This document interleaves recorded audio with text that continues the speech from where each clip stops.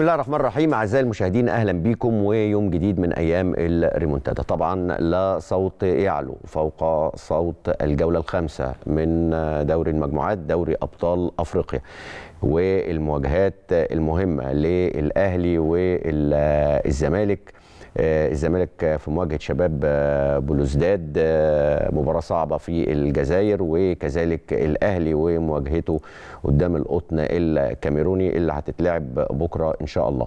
طبعا كلام كتير الموقف صعب بالنسبة للأهلي والزمالك. يمكن موقف الأهلي أصعب شوية في المجموعة من موقف الزمالك. نادي الأهلي ما بدأش بداية جيدة في دوري المجموعات ولكن بنقول إن كل شيء وارد وكل شيء جايز. والمهم إن الأهلي والزمالك يلعبوا على الفوز ويعملوا اللي عليهم بغض النظر عن أي حاجة تحصل بعد كده. خلونا نبدأ مع حضراتكم بالمباريات اللي هتتلعب بكرة. طبعا دوري أبطال أفريقيا بكرة وبعده المباريات هتتلعب.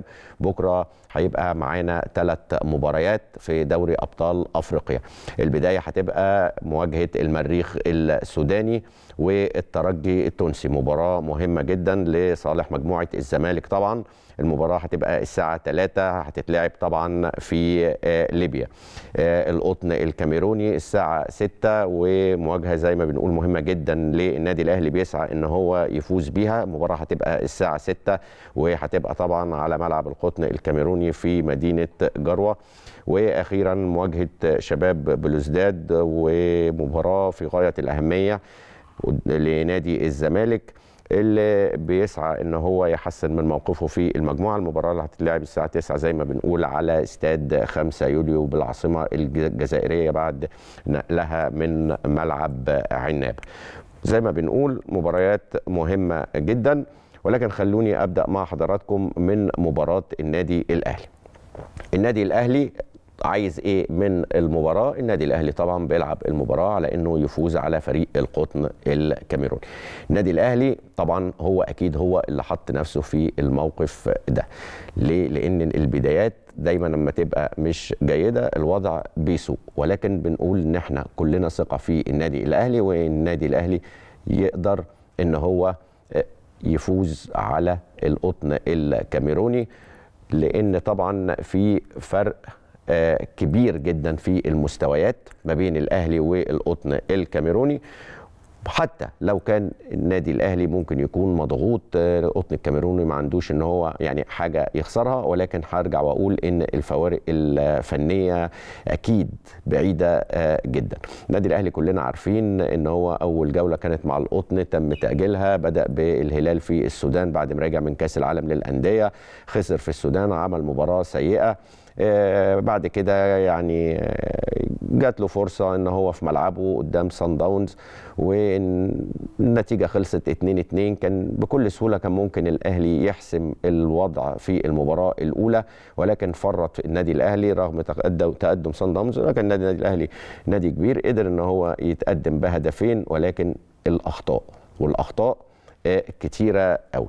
ودلوقتي بعد ما الموقف بقى صعب الموضوع ما بقاش في إيد النادي الأهلي بس. لا ده النادي الأهلي هو مطالب إن هو يكسب المباراتين اللي ناقصين يكسب بكرة المباراة الأولى ودي مهمة جدا. وما ينفعش إن هو حتى يفكر في المباراة الأخيرة قدام الهلال غير أما يركز في مباراة بكرة. مباراة بكرة زي ما بنقول بكسبها وبستنى أشوف إيه اللي هيحصل يوم السبت في مباراة صن داونز والهلال. ويمكن أنا عايز أتكلم في نقطة في الموضوع دوت لأن طبعا يمكن إحنا بنقول إحنا بنحط نفسنا في مواقف صعبة وبعد ما نحط نفسنا في المواقف الصعبة بنبتدي بقى إيه الناس كلها تبتدي إيه تتكلم وكل واحد إيه يبتدي يجتهد. يعني مثلا النادي الأهلي خسر وخسر خسارة كبيرة قدام فريق آه صن داونز خمسة آه اتنين. ومن بعد ما المباراة انتهت بقت كل الناس قاعدة عمالة اللي بتطلع إشاعات واللي يقول لك سان داونز هيسيب الماتش سان داونز مريح اللعيبة سان داونز ما صفرش اللعيبة لأ أصل لازم مراقبة على المباراة لازم مش عارف إيه لازم ولازم ولازم ولازم. الناس كلها بتتكلم في النقطة ديت من منطلق إن المباراة الوضع الطبيعي بتاعها يبقى خلصان لسان داونز أنا بتكلم على مباراة سان داونز والهلال اللي هتتلعب يوم السبت. كل الناس بتتكلم من المنطلق ده. وده برضو موضوع غريب. واللي فاكر كلامنا اللي قلناه الأسبوع اللي قبل اللي فات باللفظ كده قلت يا جماعة الناس اللي متابعة والناس اللي بتشجع والناس اللي ما بتسيبش ماتش وبتبقى متابعة مش فرقتها بس فرق المجموعة كلها أنا قلت يا جماعة انسوا فريق الهلال السوداني اللي أنتوا واخدين عنه انطباع السنين اللي فاتت. لأن الهلال السوداني في النسخة دي هلال مختلف فرقة كويسة فرقة محترمة وبتلعب كورة وعندها هدافين وعندها ناس بتعرف تجيب أجوان وبيجتهدوا دفاعيا وبيجتهدوا جماعيا والفريق بيلعب كوحدة واحدة. فالهلال عامل نتائج كويسة عامل أداء كويس.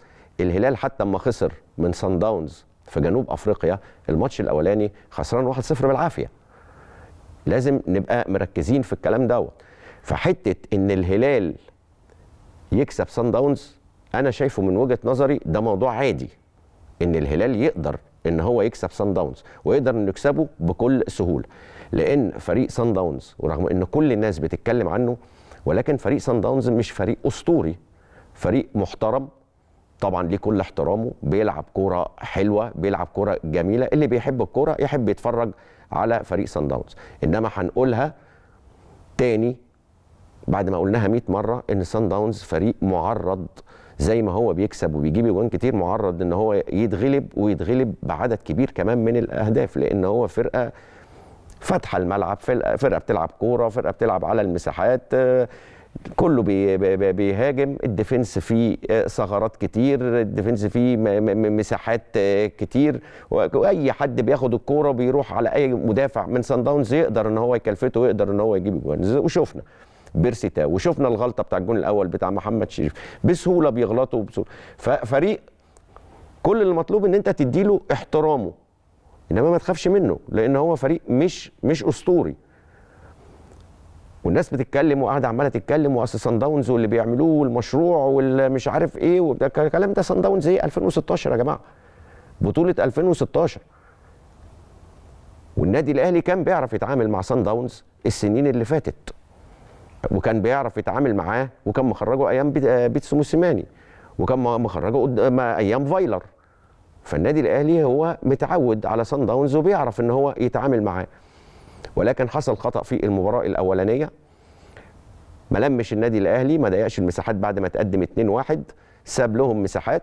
هم عندهم الإمكانية لو لقوا المساحات ديت عندهم اللعيبة أصحاب المهارات إنها تقدر بيعرفوا يجيبوا اجوان وخدوا تعادل كان في منتهى الأهمية بالنسبة لهم الماتش الأولاني. الماتش الثاني رحت بتلعبه والدنيا مفتوحة. هو بيلعب كورة والدنيا مفتوحة وانت قمت بلعبه بنفس الطريقة وده طبعا أكبر غلط. وقلناها برضو قبل كده مش عيب إن النادي الأهلي يضيق مساحات ومش عيب إن النادي الأهلي يرجع تحت الكور ومش عيب إن النادي الأهلي في بعض الأوقات في بعض المباريات إن هو يدافع. خصوصا أنت لو دارس الفريق اللي بتلعبه عارف إمكانياته إيه والكرة اللي بيقدمها آه إزاي والتكتيك بتاعه إزاي. فأنت هتعمل له تكتيك يقدر يقابل التكتيك اللي هو بيشتغل بيه إن أنت إزاي هتحرمه من الأسلحة بتاعته من الشغل اللي بيشتغله. ده ما حصلش. ناس راحوا ماتش الظهر الساعة 3 وطبعا الأهلي في موضوع الظهر برضه لازم اللعيبة تبتدي تفكر وإنها تخرج نفسها من حتة إيه؟ إن أنا أسلم نفسي إن أنا أهمد أصل الماتش في أفريقيا أصل الماتش الساعة 3 يا جماعة الماتشات تبقى 3 تبقى 6 تبقى 9 تبقى في أي وقت. النادي الأهلي يلعب بشخصيته. ولكن النادي الأهلي راح عمل مباراة مفتوحة قدام سان داونز طبعا زعلنا. يعني زعلنا وجبنا ناس تزعل. بعد المباراة اللي حصل رغم إن أنت بيتقدم وأنت بتجيب جون التعادل وبتخش تاني للمباراة. ولكن الدنيا ما بتمشيش مع الفريق ده بالشكل ده. سان داونز السنة اللي فاتت كان مكسر الدنيا في دوري المجموعات. بالعكس ده كان كسب النادي الأهلي ذهاب وعودة وكلنا فاكرين. إيه اللي حصل؟ سان داونز بمجرد ما عدى بس دوري المجموعات ولعب مع بيترو اتلتيكو في مرحلة إقصائية ذهاب وعودة بيترو اتلتيكو كسب وسان داونز خرج. لمجرد إن هم لعبوا فريق برضه بيلعب كورة وعنده إمكانيات ولكن كانوا دارسين سان داونز كويس. وقفلوا عليهم الدنيا. وما ادلوش المساحات اللي يجروا فيها ويروحوا ويهددوا وي وي والكلام ده كله ويجيبوا عدد كبير من الأجوان زي ما متعودين سان داونز فوقفوا. وبالتالي خرجوا. ففريق عادي إن أنت تحترمه. ولكن النادي الأهلي المشكلة إن اللعيبة ما لعبتش بشخصية النادي الأهلي. سابت الدنيا وكلها أخطاء وكلنا شفنا الأخطاء دهيت أخطاء واحد بي بي بيشوط الجون الأولاني من على ال 18 في 50 واحد قدامه إنما ما حدش ضاغط عليه منعه من الشوط. فالراجل شاط جاب جون كرة تانية خارجة وال defence خارج كله وناسي الراجل. ومش كله طالع مع بعضه. على طول الكرة اتردت الراجل مش offside هو جون كرة ثالثه شاط من من من, من آخر الدنيا جون هنتكلم برضو على عشان برضو ليا تعليق بس قدام شوية على آه الشناوي. الراجل بيشوط جون. بعد كده مساحات زي ما شفنا الشوط الثاني ومساحات والناس بيلاقوا المساحات بيروحوا بينفردوا بيعرفوا يجيبوا جون. وفي وفي مهارات. انما أنا ما عرفتش ان أنا اقفل عليهم عشان ما اوصلهمش للاماكن اماكن الخطورة دي. بكرة الاهلي مطالب ان هو يكسب. الفوارق بعيدة. الفوارق بعيدة. ولكن مطالب التركيز مطالب شخصية النادي الأهلي مطالب إن كولر يعمل تكتيك للمباراة دي واشتغلها بطريقة كويسة وبطريقة ذكية. لأن زي ما قلنا فريق القطن ما عندوش اللي يخسره.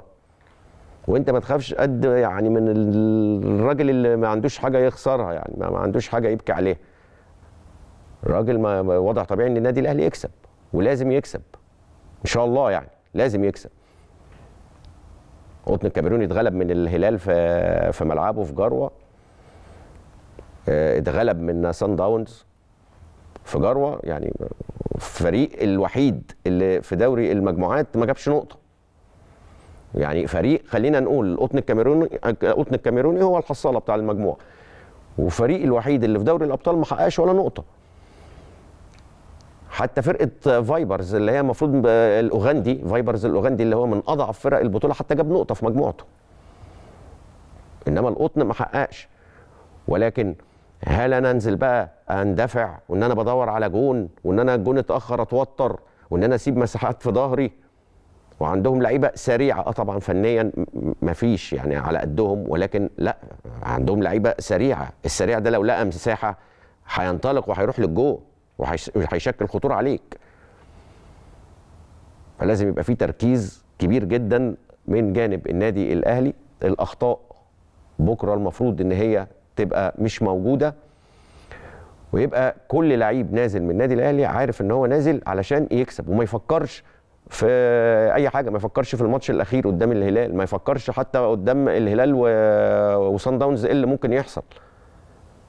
لأن أنا زي ما بقول لك في مباراة الهلال وصن داونز كل شيء وارد. هي الناس بس مصدرة حتة إن إيه؟ إن الهلال لو كسب صن داونز يبقى صن داونز مفوت أو صن داونز معدي. لا الكلام ده مش مظبوط. فريق الهلال السوداني فريق محترم وفريق بيلعب كورة وبنقول الكلام دوت من ساعة ما شفنا أداؤه. ودينا شفنا حتى الهلال السوداني أما لاعب النادي الأهلي في مواجهة مباشرة مع النادي الأهلي نادي الهلال السوداني أدى إزاي؟ كسب مضيع ضربة جزاء مضيع فرص جوان تسلل عمل كل حاجة. فأنت شفت ده بعينك. ودوت اللي عمله حتى اما خسر في مع مع سان داونز في, في جنوب أفريقيا عمل مباراة كبيرة. وعمل مباراة كبيرة قدام القطن. كان خسران ورجع وتعادل وكسب. بره. فمش حكاية إن لو الهلال كسب سان داونز يبقى سان داونز اللي هو بقى مفيش fair play ولا لا عادي جدا. الهلال السوداني ممكن يكسب سان داونز عادي. لو لعبوا صح. إنما لو لعبوا غلط الوضع الطبيعي إن سان داونز هيكسب. وهيكسب أي حد أي حد هيلاعب سان داونز جوه أو بره ملعبه لو لعبه غلط هيزعل. وسان داونز قادر إنه يكسب أي حد. بس الأهم من كده الثلاثه بونت بتوع بكرة. من غير أي تفكير في أي حاجة تانية. تكسب تدي لنفسك ثقة تعمل اللي عليك. لأنه وضع طبيعي النادي الأهلي نادي كبير. النادي الأهلي بطل دوري أبطال أفريقيا يعني 10 مرات. يعني 10 مرات. ما ينفعش في الآخر نطلع نقول النادي الأهلي خرج من من دوري المجموعات بأربع نقط ولا بخمس؟ لا. أنا عندي ستة بونت موجودين ومعايا أربعة. النادي الأهلي يعمل اللي عليه. جمهور زعلان. يصالح جمهوره كمان. اللعيبه عملت اللي عليها. جاب 6 بونت على الأربعة اللي عندي. مخلص عندي 10 بونت. اللي رايده ربنا يكون. اللي رايده ربنا يكون. وده شيء مهم جدا. شيء مهم جدا. بغض النظر عن إنك بتصعد أو مش هتصعد. ولكن النادي الأهلي برضه عنده بطولة الدوري. أكيد برضه هيبقى عنده تركيز في بطولة الدوري. عايز يشتغل على المؤجلات عايز يوسع الفرق ما بينه وما بين الناس اللي وراه. فالنادي الأهلي لما يركز في الماتشين دولت ويأديهم بطريقة كويسة حتى يدي ثقة لنفسه ويدي ثقة لجمهوره ان إيه الدنيا هتبقى أحسن بعد كده. فده شيء بيبقى مهم جدا. طبعا النادي الأهلي برضو أكيد خبر وجوده في مونديال الأندية 2025 بالنسخة الجديدة اللي هتكون من 32 فريق. أكيد ده برضو خبر فرح الأهلاوية النادي الأهلي طبعا على الصفحة الرسمية بتاعته على تويتر. بيتكلم بيقول نادي القرن في مونديال 2025 حاضرون دائما في المواعيد الكبرى. كلنا عارفين إن الفيفا قال لك بطولة 2025 من كأس العالم للأندية هتبقى أول بطولة ب 32 فريق. طبعا أكيد بطولة هتبقى قوية جدا. اتقال طبعا إن آخر أربع نسخ من دوري الأبطال في الاتحادات القارية. هي اللي هتتأهل للبطولة. النادي الأهلي كلنا عارفين هو بطل 2021 وبالتالي النادي الأهلي اتأهل هيبقى موجود زي الوداد بالظبط. أما هو بطل 2022 وبالتالي الوداد برضه هيبقى موجود. هنشوف مين بطل النسختين اللي جايين. هيبقى طبعا موجود في المونديال. طبعا نتمنى نشوف فرق مصرية هي اللي موجودة وهي اللي بتكسب ونشوف فرصة. يعني البطوله هتبقى بطولة كبيرة. طبعا بطولة هتبقى قوية. هيبقى 12 فريق من أوروبا ست فريق ست فرق من أمريكا الجنوبية. عندك أربعة من أفريقيا أربعة من آسيا أربعة من أمريكا الشمالية. طبعا بالإضافة لفريق من أوقيانوسيا والفريق المستضيف دولت اللي هيبقوا ال 32 فريق. ويعني هتبقى أكيد بطولة جامدة جدا لأن بنتكلم على 12 فريق من أوروبا يعني أنت بتتكلم يعني إن ريال مدريد هيبقى موجود بطل نسخة تشيلسي هيبقى موجود بطل نسخة يعني هتبقى الدنيا صعبة جدا. ولكن هتبقى بطولة آه للاستمتاع. نفكر حضراتكم كده بجدول الترتيب برضو بتاع مجموعة الأهلي قبل المباريات بتاعه الدوري الجولة الخامسة.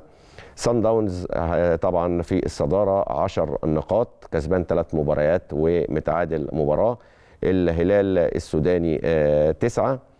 من ثلاث انتصارات وهزيمة الأهلي في المركز الثالث أربع نقاط وزي ما قلنا القطن الكاميروني في المركز الأخير بلا رصيد من النقاط.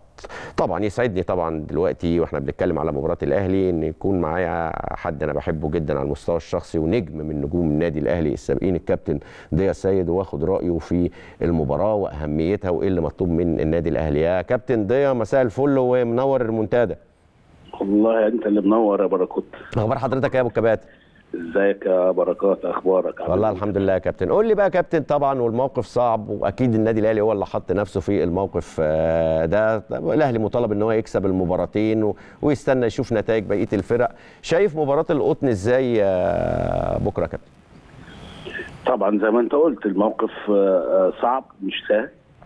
ولأن إحنا من ساعة ماتش سان داونز وإحنا في في, في ظل وجود هزيمة تقيلة في عدم ثقة والفرقة بتلملم الأشلاء زي ما بيقولوا بتلملم الدنيا وبقى معظم الحديث وهو ده خطر أنا شايفه إنه آه، إزاي سان داونز هيلعب مع الهلال.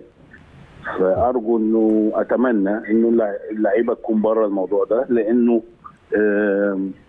إحنا لازم نكسب الماتشين اللي فاضل لنا وما- وملناش دعوة بحد. يعني إحنا نكسب الماتشين وخلاص. يعني إحنا نكسب الماتشين و... و... ونسيب بقى الأقدار اللي إحنا حطينا نفسنا فيها. آه، يعني نشوف نتائج الماتشات. لو حصل خير إنه بقى لك في ماتش الهلال يبقى كويس. يبقى يبقى يبقى في موقف تاني وأداء تاني بشكل كبير لكن ماتش ال- ال- ال- القطن ماتش ريزل آه، على فكرة آه، حاجة كويسة إنه الملعب ده إحنا لعبنا عليه. أنت عارف المنتخب لعبنا على في جروة. مم. وملعب استاد جديد جدا. ملعب كويس يا كابتن.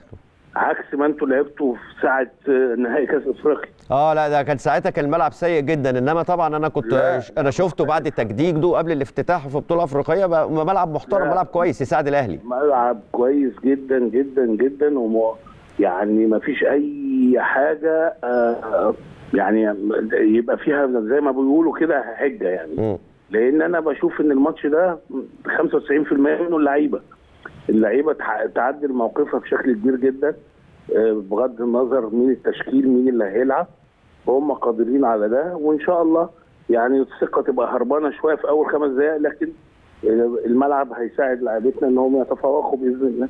كابتن ضياء ليه الناس اتفاجئت بالهزيمة الأخيرة قدام سان داونز 5 2 يعني رغم إن سان داونز فريق بيلعب كرة كويسة وسبق إن هو كسب النادي الأهلي 5 0 ولكن يمكن الناس اتفاجئت بال 5 2 اللي فاتوا ويعني ما كانوش متخيلين إن النتيجة ممكن تبقى كبيرة بالشكل ده. إيه يعني إيه الأخطاء اللي وقع فيها النادي الأهلي في المباراة ديت وخلت إن النتيجة تبقى كبيرة كده هو اولا الناس اتفاجئت لأنها الهزيمة اتكررت بنفس العدد.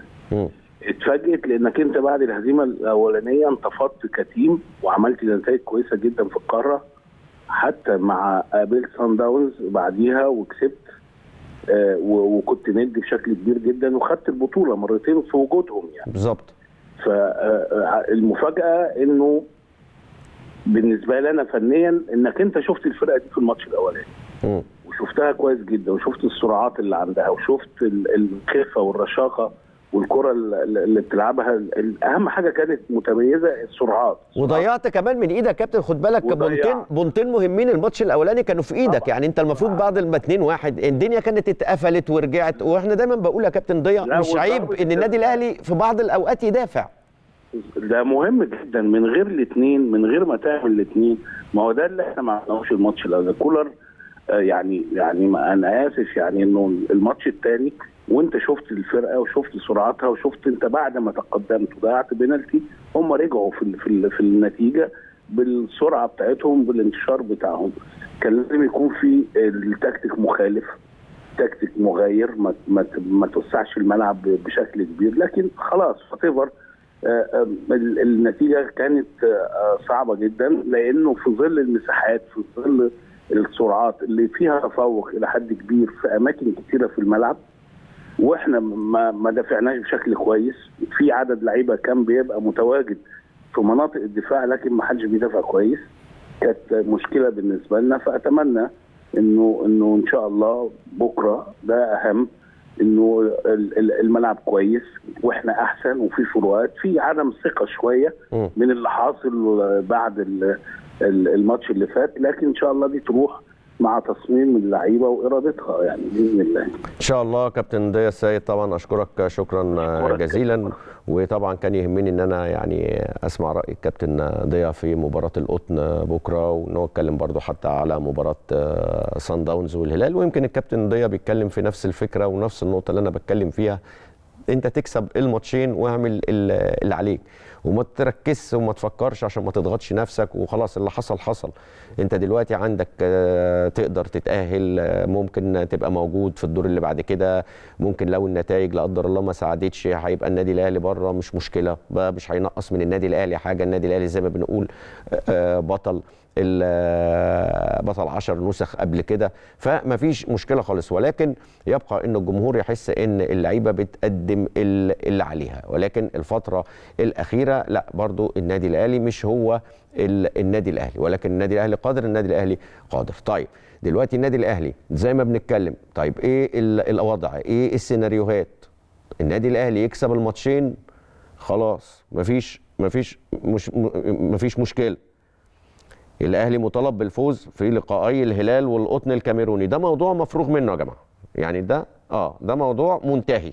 قبل ما تبتدي بقى تفكر في أي حاجة الأهلي لازم يكسب الماتشين. لأن النادي الأهلي لو ما كسبش القطن بكرة خلاص النادي الأهلي بره. فدي أول حاجة إن النادي الأهلي مطالب إن هو آه، يكسب المباراتين.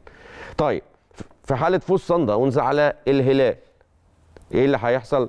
سيكون الأهلي في حاجة للفوز بأي نتيجة على الفريق السوداني في الجولة الأخيرة من أجل ضمان التأهل حيث سيحتل حينها المركز الثاني برصيد 10 نقاط فيما سيتوقف رصيد الهلال عند النقطة التاسعة في المركز الثالث. يعني النادي الهلال عنده ناقص له ماتشين لو خسر بكرة من صن داونز هيفضل تسعة خسر من النادي الأهلي هيفضل تسعة. في الحالة دي النادي الأهلي هيبقى وصل 10 بونت يتأهل النادي الأهلي والهلال السوداني آه، يخرج آه، بره. يعني ده في حالة إن الهلال اتغلب من سان داونز بكرة واتغلب من النادي الأهلي. طيب في حالة تعادل سان داونز مع الهلال ودي أعتقد يعني أعتقد من وجهة نظري أنا حاسس إن دي ممكن تكون النتيجة الأقرب. يعني أنا من وجهة نظري شايف إن التعادل ممكن يكون النتيجة الأقرب لماتش سان داونز والهلال. سيكون الأهلي في حاجة للفوز بنتيجة عريضة على القطن الكاميروني في الجولة المقبلة. بما يزيد عن أربع أهداف كاملة من أجل تعويض فارق الأهداف في جدول ترتيب المجموعة مع الفوز على الهلال بهدف نظيف. يعني إن أنا مطالب إن أنا أكسب الهلال 1-0 ده في حالة إن سان داونز اتعادل مع الهلال. أرجع أنا النادي الأهلي أكسب الهلال بس أعمل score على القطن الكاميروني أعوض فارق الأهداف لأن الهلال السوداني عنده ثلاث أهداف بالزيادة. النادي الأهلي عنده هدف عليه هدف بالناقص. وبالتالي النادي الأهلي بكرة عنده فرصة إن هو كل دوت بنقول في حالة إيه؟ تعادل الهلال مع سان داونز ففي فرصة النادي الأهلي يعوض فارق الأهداف إن هو يعمل جيم كبير بكرة إن شاء الله ويسجل ثلاث آه أربع أهداف. طيب في حالة تعادل سان داونز آه مع الهلال وفوز الأهلي على القطن ولكن ما عملش عليه score. يعني هو إيه؟ فرق أقل من الأربع أهداف. إيه اللي هيحصل؟ سيكون الأهلي مطالبا بالفوز على الفريق السوداني في الجولة الأخيرة بفارق أكبر من هدف. ليه فارق أكبر من هدف؟ علشان الهلال السوداني ساعتها هتبقى المواجهات المباشرة. هيبقى ده 10 point والهلال 10 point والأهلي 10 point. الهلال كسبان 1-0 في السودان. يبقى هنا الأهلي مطالب إن هو يكسب أكتر من هدف يكسب هدفين على الأقل. طبعا من أجل حسم مواجهات المباشرة لصالحه بعد الهزيمة في الجولة الأولى. كل ده زي ما بنقول مبني على إيه؟ مبني على إن. سان داونز يكسب الهلال أو إن هو يتعادل مع الهلال. ولكن فوز الهلال الدنيا خلاص خلصت. وكل ده من البداية ومن الأساس مبني على فوز الأهلي على القطن الكاميروني. لأن الأهلي لو حقق أي نتيجة بكرة غير الفوز على القطن الكاميروني خلاص الأهلي هيكون بره. وهيتأهل الهلال وسان داونز يعني دي الأفكار. طبعا النادي الأهلي طبعا على ملعب اللقاء أجرى التدريب الأخير ليه النهارده بوجود سياده السفيره داليا فايز سفيرة مصر بالكاميرون حضرت النهارده ودعمت فريق النادي الأهلي طبعا في وجود الأستاذ طارق قنديل عضو مجلس الإدارة ورئيس البعثة. المعنويات مرتفعة يعني الناس واخدة الموضوع بجد تدريب اشتمل على تدريبات بدنية جوانب خططية وفنية طبعا استعدادا للقاء اللي هو زي ما بنقول هيبقى لقاء مهم جدا. تعالوا نشوف طيب كولر وتصريحاته اللي قالها برضه قبل المباراة وبيفكر في المباراة إزاي ورؤيته للمباراة هتبقى إزاي. بيقول نسعى للظهور بشكل جيد في مباراة الغد ونعلم أن فريق القطن يريد أن يفعل كل شيء من أجل الحصول على الثلاث نقاط. شاهدت مباريات للقطن مع الفرق الأخرى والمباراة التي جمعت الفريقين في القاهرة والفريق الكاميروني كان جيدا في مبارياته وبشكل عام هو فريق مميز جدا. طبعا هو لا جيد ولا أي حاجة ولا فريق مميز يعني بس طبعا يعني كولر هو بيديله يعني حقه بيديله احترامه بس في المؤتمر الصحفي لكن فريق القطن فريق بعيد قوي الأهلي يسعى للفوز غدا. وسبق للتأكيد على أهمية مباراة سان داونز والهلال السوداني. أكيد كلنا مهتمين بيها ولكن ذلك لن يأتي على آه، حساب التركيز في مباراة الغد. آخر حاجة لاعبو الأهلي يمتلكون الخبرة الكافية لتحقيق الفوز واستكمال المشوار في البطولة. وده مهم جدا إن الخبرات بتاعت لعيبة النادي الأهلي لازم تظهر بكرة. يعني لازم التصريحات دي ال- الخبرات ديت آه، تظهر بكرة في ال- الملعب مع لعيبة النادي الأهلي. ولازم يبقى اللعيبة متحملة ال- المسؤولية قدام آه، الجهاز الفني وقدام الإدارة وقدام الجماهير. لازم بنقول اكسب اكسب الماتشين وده مهم. واعدل الصورة وصلح الصورة. وحتى لو ما كملتش إنما هتقول أنا ما كملتش بس أنا جايب 10 نقاط ده الاهلي مفيش مشكلة إن أنا لما هخرج ولا هغادر الدنيا مش الدنيا مش مش هتبوظ. دي كورة. النادي الأهلي بيكسب وبيخسر وبيجيب البطولة وبي- ويوصل نهائي وما يتوفقش ويرجع البطولة اللي بعدها يجيبها واللي بعدها يجيبها. هو ده النادي الأهلي على طول. ما, ما بيقعش. واول ما بيقع بيقوم بيقوم بسرعة. بس أهم من كده عامل التركيز وإن أنت تدي بس حق لجمهورك إن أنت بتعمل اللي عليك. طيب نشوف رامي ربيعة لاعب النادي الأهلي برضو كان ليه تصريحات في المؤتمر ونشوف برضو رؤيته إيه للمباراة وقال إيه عن المباراة. قال لك نعلم أن فريق القطن سيقدم أقصى ما لديه غدا خاصة أنه يلعب على ملعبه وسط جماهيره ونحن كلاعبين قمنا بالاستعداد جيدا لهذه المواجهة. كرة القدم بها كل شيء اللاعبون اعتادوا اللعب من أجل تحقيق البطولات والفريق كله يعمل بمنتهى الجدية من أجل هذه المهمة. لاعبو الأهلي لديهم الرغبة في تحقيق النقاط الثلاثة غدا خاصة أن هذه المرحلة صعبة وتحتاج إلى تكاتف الجميع. اللاعبون بأكملهم على قلب رجل واحد في هذه ال- المرحلة. طيب. دي كانت تصريحات آه، رامي. وزي ما بقول ربنا يوفق النادي الأهلي آه، وإن شاء الله يعمل مباراة كبيرة جدا ويعمل عرض كويس ويجيب اجوان ويسجل ويعمل نتيجة عريضة إن شاء الله تساعده في اللي بعد كده. وإن شاء الله ربنا يوفق والنتائج تمشي في مصلحة النادي ال- الأهلي. قبل ما أطلع فاصل برضو ليا تعقيب آه، سريع بس على آه، آه، إن إحنا متعودين هنا وده شيء يعني من ضمن عيوبنا يعني إن إحنا بننسى بسرعة. يعني ممكن مثلا يكون حد عمل لنا حاجات كويسة قوي آه، آه، على مدار فترة كبيرة وعلى مدار سنين. وبعد كده في ثانية الدنيا أما بتقوم فتلاقي كله بيهد يعني. أنا بتكلم طبعا كلامي على محمد ال- الشناوي واحد من أفضل حراس المرمى في أفريقيا. آه، واحد عمل كتير جدا الفترة اللي فاتت السنين اللي فاتت للنادي الأهلي وكان ليه فضل كبير بعد ربنا في إن النادي الأهلي آه، توج ببطولات وعمل عروض كبيرة. آه، كان الشناوي ليه فضل كبير جدا في الكلام دوت. عمل مع منتخب مصر وشغال مع منتخب مصر على مدار سنين آه، برضه بشكل كويس جدا. آه، ما ينفعش إن ما يجي فترة من الفترات محمد الشناوي يجي مثلا يتحمل مسؤولية بعض الأهداف في فترة من الفترات لأن في الأول وفي الآخر محمد الشناوي آه هو حارس مرمى ولكن محمد الشناوي في الآخر هو بني آدم هو لعيب زيه زي أي حد معرض في فترة من الفترات المستوى ممكن بينزل شوية التركيز بيقل شوية ولكن دوت عمره ما بيقلل من قيمته ابدا عمره ما يقلل من قيمته ابدا. والناس اللي قاعدة عمالة تقول آه طبعا في بعض الأهداف أخطاء طبعا ما ننكرش. ولا أقدر أنا أنكر كده أنا لو قلت لك غير كده بقى أنا راجل ما بفهمش. ولكن في نفس الوقت اللي بيعمله الشناوي للنادي الأهلي أو اللي عمله الشناوي للنادي الأهلي كتير وكبير. فيجب الوقوف جنب محمد الشناوي ويجب حماية محمد ال- الشناوي وإن كله يتكاتف علشان يرجع محمد الشناوي. آه محمد الشناوي أكيد أنا ما عنديش مشكله ان هو عارف عقليته وعارف انه هيشتغل على نفسه أو عارف ان هو آه، هيرجع نفسه. كل الكلام دوت أنا عارفه ولكن الناس ما ينفعش انها تنسى. وبعدين أنا عايز أقول ان محمد الشناوي حتى دلوقتي لو في فتره من الفترات هو مش فايق فهو حتى في الفترة اللي هو مش فايق فيها هو احسن من ناس كتير. خليني اكلمكم بصراحه يعني محمد الشناوي حتى هو مش فايق هو احسن من ناس كتير. يعني إحنا مش هنقعد نتكلم ونقول أسماء وي وي إنما محمد الشناوي آه، قيمة كبيرة جدا عندنا. وأكيد عند جمهور النادي الأهلي. فما ينفعش إن في ناس تبتدي تتكلم وتقول آه، على طول آه، بديل الشناوي مين اللي هيجي مكان الشناوي قعدوا الشناوي. الشناوي ما, ما ينفعش يلعب لعبوا علي لطفي. طبعا أنا هنا مشكلتي خال... مش مع علي خالص علي جون كبير طبعا.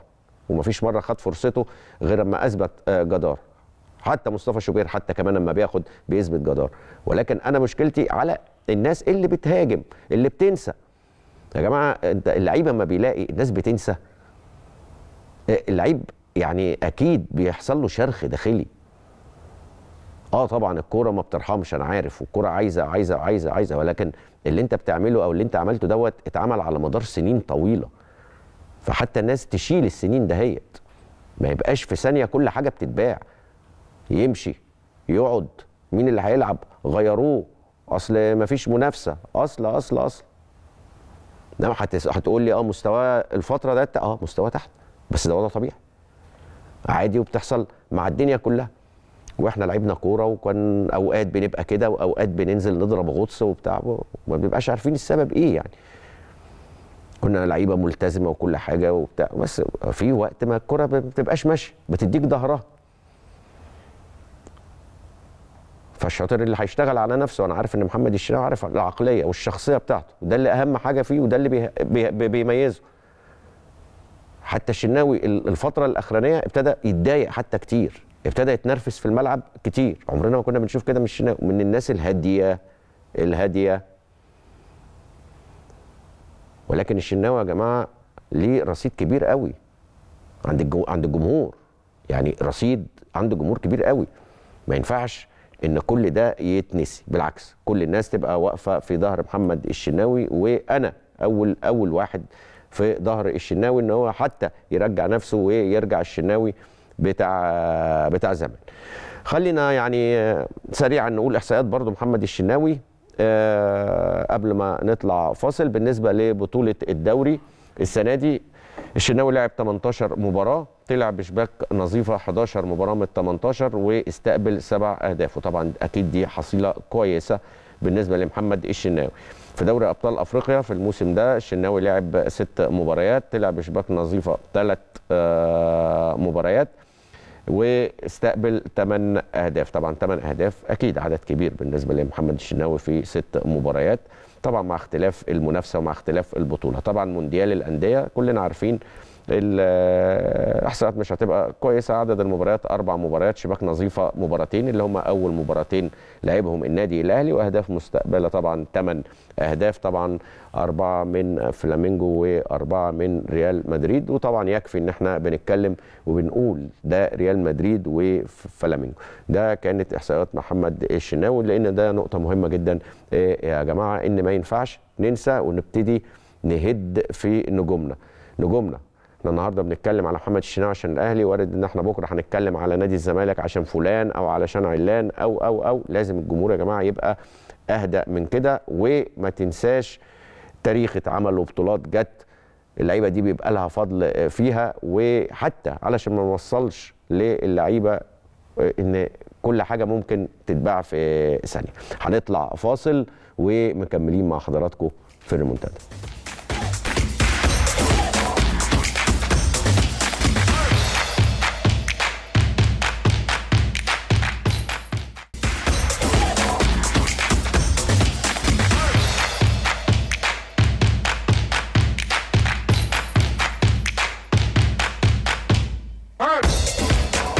أهلا بحضراتكم مرة تانية في الريمونتادا. طبعا زي ما اتكلمنا على النادي الأهلي وأهمية مباراته بكرة قدام القطن الكاميروني طبعا مباراة في غاية الأهمية برضه لنادي الزمالك قدام فريق شباب بلوزداد الجزائري.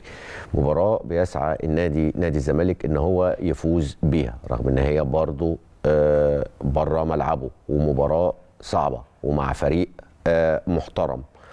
آه برضو ما بنقولش إن هو فريق يتخاف منه وفريق إن هو قوي ولكن فريق محترم فريق مسيطر على الدوري الجزائري بقاله كام سنة ولكن في نفس الوقت الزمالك مش أقل منه. النادي الأهلي النادي الزمالك هو بطل مسابقة الدوري برضو آخر نسختين زي ما شباب بلوزداد هو اللي مسيطر على البطولة في الجزائر.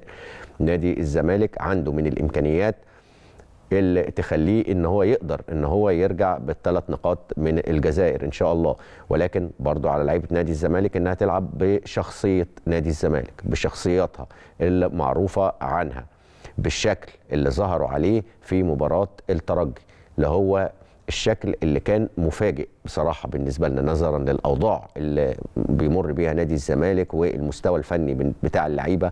ولكن فاجئنا نادي الزمالك ودوت رسالة لعيبة نادي الزمالك بتقولها للجماهير إن إحنا لما نبقى عايزين فبنقدر. بكرة لازم لعيبة نادي الزمالك يكونوا عايزين مباراة مهمة جدا. مباراة المكسب فيها بيقرب نادي الزمالك للتأهل للأدوار اللي بعد كده. فمهم جدا إن نادي الزمالك يلعب برضه بكرة. اللعيبه لازم يبقى عندها حماس لازم بكرة تبقى اللعيبة مركزة لازم بكرة برضه اللعيبة وفيريرا يكون حاطط تكتيك المناسب للمباراة لأن المباراة هتكون صعبة. والفرق المصرية كلنا عارفين إن مبارياتها في الجزائر شأنها شأن تونس شأنها شأن المغرب مباريات بتبقى في غاية الصعوبة. تلعب قدام فريق قدام جمهوره. وفريق سبق إن هو كسبك في الجولة الأولى. بس كسبك في الجولة الأولى علشان مش هو الفريق القوي بزيادة ولكن هو كسبك علشان أنت اللي كنت وحش. نادي الزمالك كان وحش في المباراة الأولى. خسر بضربة جزاء وكانت مشكوك حتى في صحتها وكان يقدر إن نادي الزمالك إنه يعمل بداية كويسة. ولكن نادي الزمالك كانت برضو بداياته شأن شأنه شأنه شأن النادي الأهلي كانت البدايات مش كويسة. بدأ بالهزيمة بعد كده ماتش سهل جدا. مع المريخ في ليبيا. كان يقدر برضو الزمالك إن هو يحسمه كان أحسن في خلال اللقاء من فريق المريخ ولكن برضو نادي الزمالك فرط بعد كده نادي الزمالك سافر تونس عمل مباراة ولا أسوأ من كده وخسر اتنين. ولكن جه نادي الزمالك ورانا بقى إيه شكل تاني خالص لنادي الزمالك. نسخة تانية خالص لنادي الزمالك. ولا اكن نادي الزمالك يعني إيه تحس كده إن هو إيه يعني هيجننا هيجنن الواحد. تبقى الظروف ماشية مثلا كلها في اتجاه معاكس وهوبا تبص تلاقي إيه؟ الدنيا 180 درجة زي ما حصل في ماتش الترجي. نادي الزمالك في ماتش الترجي عمل مباراة كبيرة جدا على مدار 90 دقيقة. نادي الزمالك أحسن في كل حاجة وأنت جايب ومسجل ثلاث أهداف في فريق كبير زي الترجي. وكلنا متابعين الترجي ونتائجه من سنين السنين في بطولات أفريقيا. يعني نادرا لما نشوف الترجي بيلعب مباراة يدخل فيه ثلاث أهداف ولكن الزمالك قدر إن هو يسجل الثلاث أهداف. كان يقدر الزمالك كمان إن هو يسجل أكتر من كده. ولكن اللعيبة كانت مركزة. التكتيك اللي اتحط المباراه كان مناسب جدا. قفلت على نقاط القوة في فرقة الترجي واشتغلت على الجون واستغليت أخطاء. وكنت بتنتهز الفرص وكنت بتعمل المرتدات زي ما شفنا الجون الثالث جون ولا أروع. إزاي مرتدة وإزاي راحت لزيزو وازاي زيزو عمل الأوفر وإزاي الجزيرة. يعني الدنيا كلها كانت اللعيبة في حالة فوقان. ولكن قبل حالة فوقان حالة تركيز. وشفنا حتى في بطولة الدوري والزمالك ماشي وحش في بطولة الدوري. ولكن الزمالك فجأة تلاقيه يجي يفاجئنا كده مثلا في مباراة زي مباراة فيوتشر. الهزيمة الوحيدة لفيوتشر في بطولة الدوري لحد دلوقتي كانت قدام نادي الزمالك. والزمالك برضه عمل game كبير على فيوتشر. فنتمنى إن بكرة نشوف نادي الزمالك نشوف النسخه بتاعت إيه؟ ماتش الترجي. نسخة ماتش الترجي مش نسخة ماتش إنبي اللي فات. لأن أنا بقول لك إيه؟ يعني يبرجلك. يلعب الترجي يكسب مكسب كبير ويعمل game كبير ويكسب ثلاثة وهوبا بعدها بيومين ثلاثة يلعب بنفس اللعيبة قدام إنبي ويخسر اتنين. ده إحنا مش عايزين النسخة بتاعت انبي يعني بكرة مش عايزين النسخة بتاعت انبي إحنا عايزين بكرة النسخة بتاعت الترجي. ولو الزمالك لعب بنسخة الترجي بنفس التركيز بنفس الحماس بنفس تنفيذ التعليمات لو عمل كل ده الزمالك يقدر. وبسهولة إن هو يرجع من الجزائر بالثلاث نقاط.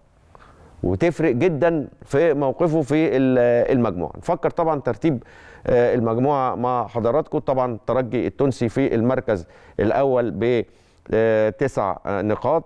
شباب بلوزداد في المركز الثاني بست نقاط من فوزين وهزيمتين. الزمالك آه، في المركز الثالث باربع نقاط. والمريخ السوداني آه، مع الزمالك في المركز الرابع باربع آه، نقاط. كل شيء متاح في المجموعة دي. يعني كل شيء متاح في المجموعة دي. أي فرقة تقدر لسه في جولة خمسة وستة كل فريق من الأربعة يقدر إن هو يصعد. مين أول مين تاني كل كل ده هيبان. يعني كل ده هيبان. طبعا الترجي أكيد هو أقرب عنده تسع نقاط كسبان أول ثلاث مباريات قبل ما يخسر من نادي ال- الزمالك فالترجي مسهلها على نفسه شوية. ولكن شباب بلوزداد ست نقاط الزمالك أربعة المريخ أربعة وهي طبعا مجموعة يعني في غاية القوة. يعني هو أجمد مجموعتين في الأربع مجاميع في دوري الأبطال مجموعة الأهلي ومجموعة ال- الزمالك. بس الزمالك قادر إن شاء الله إن هو يفوز زي ما بقول ونشوف بقى فكر آه، فيريرا هيشتغل إزاي في المباراة هيفكر في إيه؟ إيه الأنسب بالنسبة له؟ شايف الفريق بيبقى مركز في أنهي طريقة من الطرق آه، أكتر؟ يعني الحاجات دي كلها بالنسبة لنا آه، مهمة. هل شايف إن هو إيه هيلعب بأربعة؟ اثنين آه، مساكين و back right و back left. ولا لا ممكن نشوف المسلوسي بدل ما يلعب back right يقوم داخل آه، يضم مع الونش وحسام عبد المجيد فيلعب بثلاثه وبعد كده نشوف سيد نيمار بيلعب back آه، يمين وفتوح back شمال فهتيجي على حساب حد من الثلاثه بتاع نص الملعب فممكن نلاقي اثنين بس في نص الملعب مع الثلاثي اللي طبعا مش هيبقى فيه اختلاف عليهم في الهجوم زيزو مصطفى شلبي والجزيري اللي أتمنى إن هم يكونوا في قمة تركيزهم. ويبقى اليوم ده هو بتاعهم. طيب إيه السيناريوهات بقى بتاعه ال- التأهل بالنسبة للزمالك؟ زي ما قلنا سيناريوهات تأهل الأهلي. تعالوا نشوف آه كده السيناريوهات بتاعه التأهل. فوز الزمالك في المباراتين المقبلتين أمام شباب بلوزداد الجزائري والمريخ السوداني. حينها يضمن الزمالك بطاقة الصعود برصيد 10 نقاط. مش مختلفين الزمالك يكسب المباراتين بكرة والمباراة الأخيرة قدام المريخ. الزمالك يصعد بمشيئة ال- الرحمن. طيب حال تعادل الزمالك أمام شباب بلوزداد والفوز على المريخ. يعني الزمالك اتعادل مع شباب بلوزداد بكرة وكسب المريخ في المباراة الأخيرة. سينتظر نادي الزمالك صاحب الثمان نقاط حينها ساعتها الزمالك هيبقى ثمان نقاط. فوز الترجي على بلوزداد. ليتجمد رصيد آه، بلوزداد عند سبع نقاط فقط. لأنه حال اقتناصه نقطة تعادل واحدة والوصول لثمان نقاط. سيرجح عمل المواجهات المباشرة كفته على حساب الزمالك لأن طبعا ساعتها هيبقى 8 نقاط و8 نقاط هيكون نادي الزمالك خسران مباراة ومتعادل الثانية وبالتالي هيبقى الموضوع في صالح شباب بلوزداد. حال فوز الزمالك على شباب بلوزداد؟ يعني الزمالك كسب شباب بلوزداد بكرة وتعادل أمام المريخ. سينتظر الزمالك هدية الترجي بالفوز على المريخ وشباب بلوزداد ليصبح المريخ خمس نقاط وشباب بلوزداد آه، ست آه، نقاط. ديت طبعا السيناريوهات بتاعه تأهل آه، نادي الزمالك وإن شاء الله الدنيا تبقى أحسن من كده ونشوف أسهل سيناريو اللي هو فوز الزمالك بكرة إن شاء الله وفوزه في المباراة الأخيرة على فريق المريخ والزمالك يقدر طبعا فريق شباب بلوزداد طبعا فريق ليه طبعا كامل احترامه فريق زي ما بنقول بطل الدوري الجزائري كام سنة اللي فاتوا ولكن نادي الزمالك آه، فنيا لا فنيا أحسن. عنده وفرة من اللعيبة أصحاب المهارات اللي تقدر تصنع الفارق لو لو في يومهم لو هم عايزين لو في تركيز. وزي ما بقول أتمنى إن أنا أشوف نسخة نادي الزمالك قدام الترجي مش نسخة نادي الزمالك قدام انبي في المباراة الأخيرة. تعالوا نشوف تصريحات فيريرا وقال إيه برضو في المؤتمر ورؤيته عن المباراة المهمة قدام شباب بلوزداد أعلم جيدا أن الفريق الجزائري منافس قوي وهدفنا واضح وهو الفوز فقط ولن نرضى بأي نتيجة آه، أخرى. اتمنى وإن شاء الله ربنا يوفقهم بإذن الله. شباب بلوزداد كان أكثر حظا في لقاء الجولة الأولى أمامنا وكان الأفضل خلال وكنا الأفضل خلال المباراة ولكننا خسرنا بركلة جزاء. طبعا الزمالك خسر بركلة جزاء وقلنا مشكوك في صحتها ولكن مش موضوع كنا الأفضل. الزمالك لعب مباراة سيئة وفرط في بداية في ملعبه كانت المفروض تبقى بداية انطلاقة. نعاني من بعض الغيابات مثل شيكابالا وعمر جابر ومصطفى الزناري ومحمد عبد الشافي. طبعا غيابات تفرق أكيد مع نادي الزمالك خصوصا غياب شيكابالا إن شاء الله يرجع بألف سلامة ويرجع لأن طبعا شيكابالا دايما بيبقى عنده الفارق. اخترت القائمة الأمثل للمشاركة في لقاء الغد وهي نفس المجموعة التي شاركت أمام الترجي بالجولة السابقة وحققت الفوز. ودوت اللي كنا بنتكلم فيه من شوية ما يعني نفس اللعيبة. ولكن نفس اللعيبة اللي كسبت الترجي هي اللي عملت مباراة سيئة جدا قدام إنبي وخسرت من إنبي 2-0 فإحنا نتمنى إن إحنا نشوف الزمالك بتاع الترجي بإذن الله.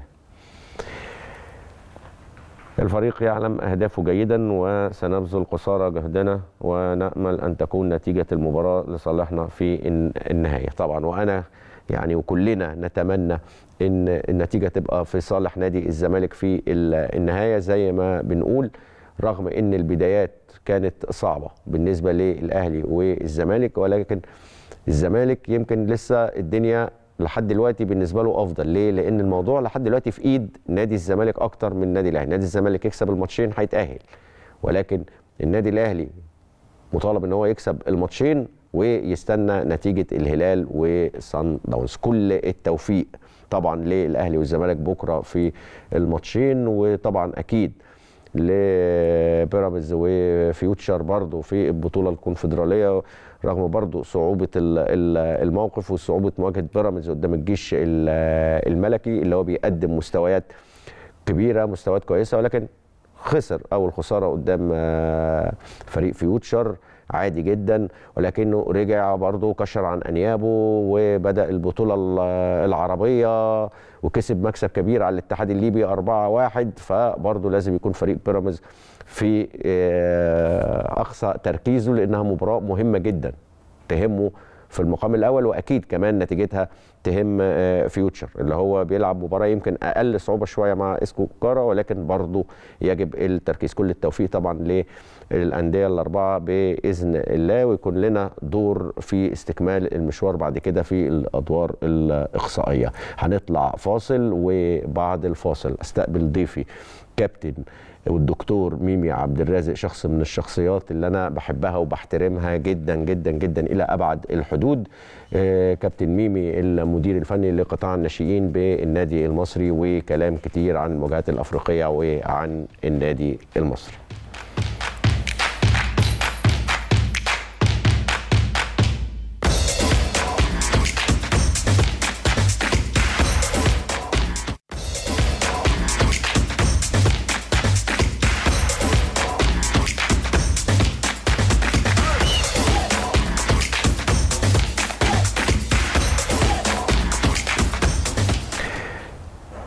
أهلا بحضراتكم مرة تانية في الريمونتادا وطبعا دلوقتي معادنا مع الدكتور ميمي عبد الرازق أو كابتن ميمي عبد الرازق رئيس قطاع الناشئين أو المدير الفني لقطاع الناشئين بالنادي المصري واللي بيسعدني وجوده طبعا. يعني شخصية من الشخصيات اللي أنا بحترمها جدا يعني وعلم بصراحة أجيال وأجيال يعني واحد من أقدم المدربين اللي موجودين في مصر. يا كابتن ميمي منور الدنيا ومنور الريمونتادا. بنورك يا كابتن بركات. أنا في قمة السعادة اللي أنا مع حضرتك وكل سنة وحضرتك طيب بمناسبه رمضان صحة الإسلامية. وشرف ليا إن أنا موجود معاك والله يا كابتن بركات وكفاية المقدمة الحلوة دي يعني ولا لا يمكن يا كابتن ميمي يمكن إحنا ما تعاملناش مع بعض كتير ولكن يعني أنت شخصية من الشخصيات اللي, يعني مش اللي مش هقول لك بقى اللي أنا بحبها اللي مصر كلها الله يخليك يا كابتن بركات. حتى أنت عارف يعني برضو يعني خفه الدم والناس كلها يعني بت بتقدرك ويعني ويكفي الدويتو اللي أنت كنت عامله يعني زمان مع المرحوم مدحت فقوسه مرحوم الله يرحمه الكابتن مدحت فقوسه يعني كان الناس بتقعد تدور عليكم شوفوا أنتوا فين علشان يجوا يقعدوا معاكم ويخشوا ويشوفوا الفيديوهات يقول لك الحق بس الدكتور ميمي مع الكابتن مدحت. الحمد لله كابتن بركات والله أنا أنا يعني بقول لك والله أنا في قمة سعادتي النهارده وجاي طبعا أول ما سألت طبعا البرنامج مع كابتن بركات لأن بسم الله ما شاء الله القناة طبعا مرئية و... وكل بورسعيد النهارده بصراحة قاعدة لما عرفوا إن أنا جاي مع حضرتك. إيه، فإحنا الحمد لله يعني التعب اللي تعبناه في خلال 40 سنة أنا أصغر مدرب اشتغلت في مصر وأنا عندي 23 سنة. رحلة كبيرة رحلة كبيرة جدا. رحلة كبيرة. رحلة كبيرة وبتقابلها في الآخر برضه يا كابتن بركات. يعني شوف الحمد لله أنت كنت مثلا نجم كبير وعملت اسمك مش بجامل. إيه، رحلة كبيرة بتتقابل في الآخر برضه يعني بالمواقف الصعبة اللي أنت مريت بيها والخبرات والمواقف اللي أنت تعرضت لها. بتقابل بتتقابل في الآخر برضه بحاجات بعد ال social media وبعد الكلام ده مهما تعمل الصح. بس أنا خدت قرار على نفسي أعمل الصح والباقي كله عند ربنا. بس خد بالك ال social media من زمان كانت تلعبك. يعني الناس لما عرفوا مثلا إن الكابتن ميمي يعني بيتنرفز نرفوز أو بتاع فإحنا هنشتغل على الحتة دي. فيقعدوا يلعبوك وإنت برضو تقع في الفخ برضو وتتنرفز وكده. لأن بحب يا كابتن بركات بحب عملي. مم. يعني أنا بقول لك دلوقتي أنا في النادي المصري بشتغل أزيد من 12 13 ساعة الله. يوميا. أنا جيت من سموحة. إيه إيه كنت جاي أصلا للفريق الأول من سنتين. ومسكت برضو مجموعة من ثلاث مباريات. وبعدين بعد كده طلبوا مني قطاع الناشئين كخبرة كأستاذ دكتور في الجامعة نمرة واحد إيه، حضرت المجموعة من المدربين كبار في الرخصة سي والرخصة بي كمحاضر. الاتحاد الإفريقي حصلت على الرخصة إيه مع الكابتن حسن شحاتة في أول المبتدأ. فبتشتغل دلوقتي النهارده كمان بتحاول تنجز حاجة. يعني كنت بكلم حضرتك وإحنا قبل كده يعني الوحيد دلوقتي اللي تعاون معايا في قطاع الناشئين كابتن حسام حسن. كنت بكلمك يعني في ثمانيه دلوقتي في قطاع الناشئين فوق. شواف الكابتن حسام حسن في قطاع الناشئين. بأمان آه بقى جريء. آه. وبعدين خد بالك إحنا حتى الكابتن حسام لما خد القرار وصعد الراجل آه، الشاب حسام دوت حسن. حسام حسن. والناس ابتدت تتكلم الناس كلها فرحت إنها رجعت تبت- تبتدي يا كابتن ميمي إنها تشوف لعيب عنده 16 سنة و 16 و6 أشهر يعني. 16 و6 شهور وحتى الكابتن شوقي غريب قبلها اما نزل محمد عبد الناصر كان 16 وأربع شهور. أربع أشهر. بدأنا أما نيجي نشوف الحاجات دي يا كابتن ميمي هنبتدي نفرح. لأن إحنا بقى بقى لنا فترة عمالين نتكلم حتى في أبو 21 و22 و23 سنة إن ده الناشئ. فإحنا عايزين نرجع إن يعني ابتدت تندى هيبقى ابتدينا نشوف 16 بقى و17 ابتدي ياخد مع الفريق. كابتن بركات هي حلقة عمالة نلف حواليها. فالنهاردة حضرتك يعني أنا طبعا ببارك لك على اتحاد الكورة آه، اللي أنت موجود كلاعب دولي ولاعب كبير والناس لازم تهتم بهذا الموضوع. آه، بيبقى ليك مثلا عملية الاهتمام بتبقى جامدة جدا. فأنت بت- بتهتم بالناس دي كلها وبتحاول تشوف لأن انت جربت دي دي بقى- دي, دي بقى مهمة لاعب الكرة الدولي. اللي هو بيشوف يعني النهارده بنشم في في الجنة بقول له شبيه بركات. مش بكلمك مجاملة. شبيه خالد بيبو. شبيه عماد متعب. شبيه مسعد نور. الله يرحمه. خدت بالك؟ آه، آه، شبيه آه، مثلا إبراهيم المصري. إحنا بنختار من هذا المنطق اللي الموضوع اللي إحنا عشناه. فالناس مش فاهمة إن الخبرات المتكررة أو الخبرات الكبيرة اللي أنت بتنقلها للعيبة دي مهمة جدا. تاني حاجة دلوقتي التدريب دخل فيها حتة حتة معينة جدا. حاجتين مهمين قوي في التدريب دلوقتي؟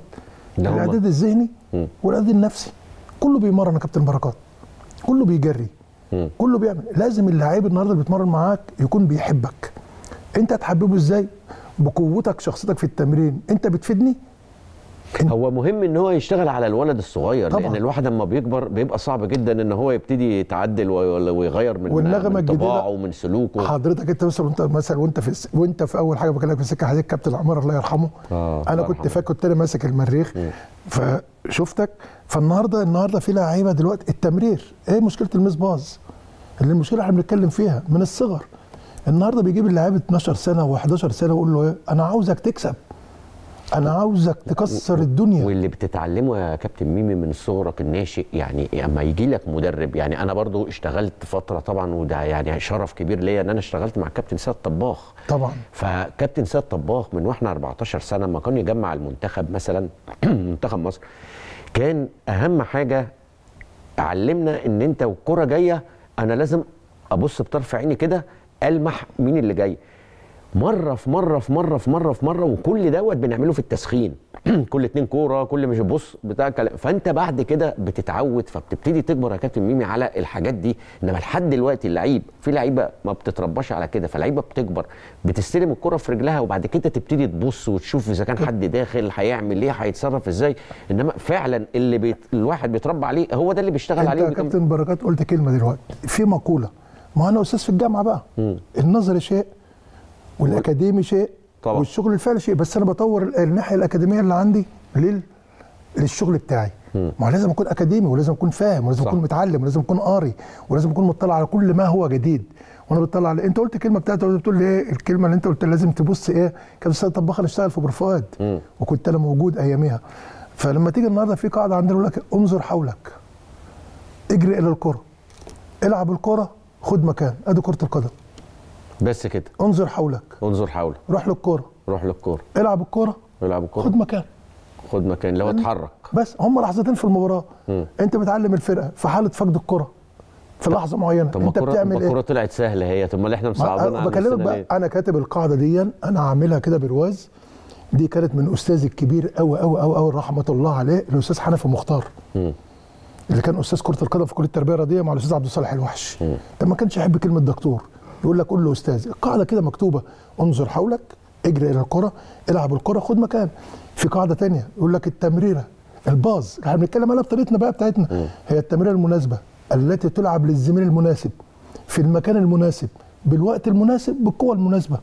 أنا كابتن بركات بيلعب يمين بديله الكرة على الشمال. إزاي؟ فين التفكير بتاع الاعداد الذهني لا دي كده انت بدأت تصعبها علينا بقى. أنا بحكي. كمية المناسبات دهيت آه كابتن كتير. ما بقول لك كابتن بركات أنت بتديني أنا بلعب شمال. أنت بتديني على اليمين. طب بتديني الباص بقوة. طب أنا رد فعلي إيه؟ هستقبله إزاي؟ طب ما تديني الباص في المساحة. عشان أنا عارف النهارده لما بنتكلم بنقول إيه؟ السري باص. النهارده واحد اتنين التالت.